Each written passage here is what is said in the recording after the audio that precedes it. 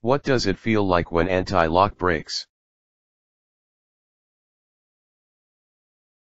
When ABS is working properly, the driver may feel the brake pedal suddenly drop, followed by a rapid pulsing sensation. There may be a grinding or buzzing noise coming from the vehicle during the period ABS activated. It may also feel like the brake pedal is pushing back when ABS activates.